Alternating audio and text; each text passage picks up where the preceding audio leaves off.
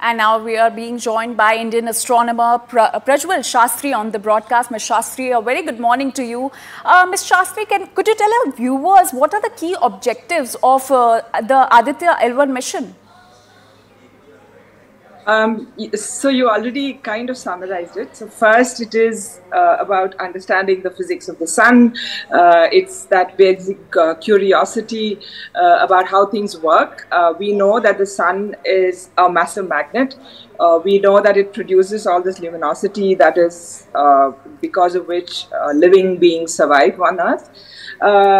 but this is to understand more. So to our bare eyes, the sun looks like a very bright disk, uh, but actually it's far from being a uniform disk. It is uh, not only at very high temperatures, it's like a boiling cauldron. There's a huge uh, influence of the magnetic fields uh, that are generated even just on the surface not just that the sun as a whole is a massive magnet, but on its surface there are a lot of magnetic fields which are constantly generated because it is uh, uh, it has basically uh, the content is basically plasma, so charged particles. It's sort of like uh, gas flame, but not quite.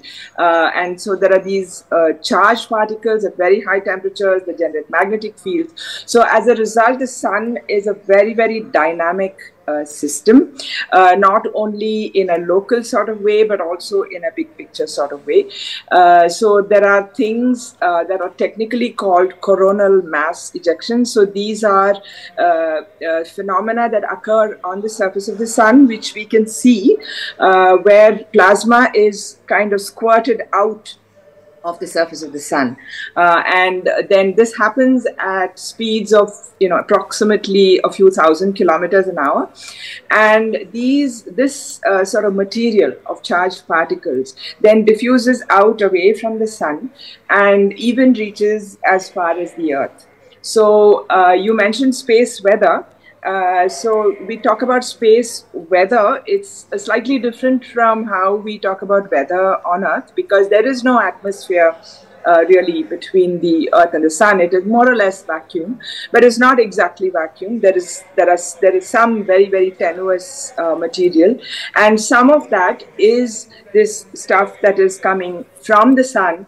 Um, and that's called the solar wind. So it's uh, it's uh, charged particles, it's radiation, and it can exert quite significant influence on certain aspects. So we wouldn't feel it as people uh, walking around on Earth, but now with all our electronic technology and all that on which we are heavily dependent, those things would be affected by uh, this sort of uh, solar wind and changes in it and these ejections that come out of the sun. Uh, so that is the reason why we want to understand it, not just to figure out how it works and why it works, but also to then uh, make predictions for our technologies on which we are dependent in order to protect them, etc. So that is one aspect. And the other aspect is, uh, you also mentioned that although the sun is not the biggest star in the Milky Way, it's a very middle of the road star, uh, both in terms of temperature and in terms of mass. Uh, it's one of those so-called ordinary stars. Uh, there are many stars in the Milky Way which are much lower mass, much lower temperature, much higher mass, much higher temperature. Uh, nevertheless, the sun represents a sort of middle of the road star, and understanding how things happen in the sun in great, great detail will help us uh, understand what we see in other stars. Now, other stars are much, much harder to study. The nearest other star we have is four and a half light years away, which means that light will take four and a half years to reach it. And all the other billions of stars in the Milky Way are much further than that. Uh, all the other billions of stars in other galaxies, which are outside uh, and which are different from our Milky Way, uh, similar in some respects, but different in a lot of respects. Uh, those stars as well, uh, we we can never hope to uh, study them with the kind of detail that we can study the sun. Uh, so therefore, this is also important. And uh, uh we today know that uh, the sun and our solar system is far from unique.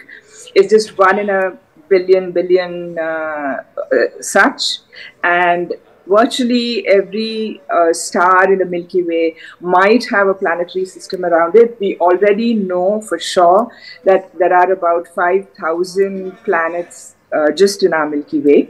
Uh, roughly 4,000 stars have planetary systems. So, in that sense, our system is far from unique. Uh, so, studying more about our system, uh, our sun, which contains most of the mass of our whole solar system, uh, becomes uh, important and assumes significance for astrophysicists.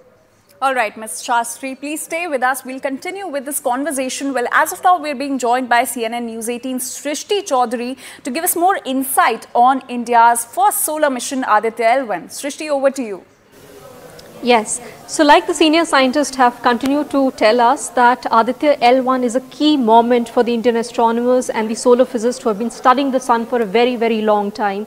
We have been planning this mission so that we could study the sun from much closer point without the disturbance of the Earth's atmosphere. Once the rocket lifts up from uh, Sriharikota at about 11.50 am, which is just a few minutes away, uh, the spacecraft is going to be placed into a low Earth orbit and after a certain maneuvers, after, uh, after a process, uh, uh, process that lasts for about 16 days. The spacecraft would be moved into an elliptical orbit and eventually escape the Earth's gravitational pull and be placed at a point called L1. We need to understand that it's not going to be a very stationary orbit as the spacecraft is going to be placed into a halo orbit from where uh, it's going to continuously monitor the sun for the next five years.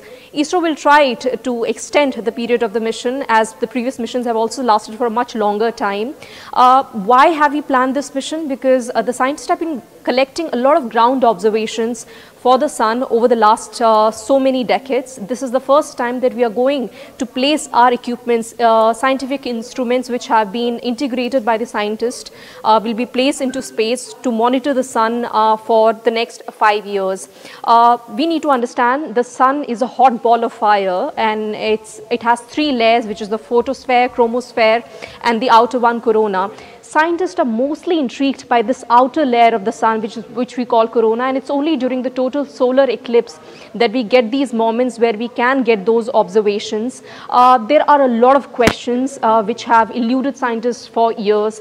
First, uh, the temperature of the lowermost uh, layer of the sun is just about 5000 degrees Celsius, but when we go outer to the corona, it's about a million degrees hotter. Now, this is a million dollar question that uh, we don't know the answer to. Several missions in the past led by NASA and the European Space Agency have tried to unravel these mysteries. So Aditya L1 is a third such mission which is going to come from India. So after NASA, European Space Agency, uh, ISRO is in the game right now.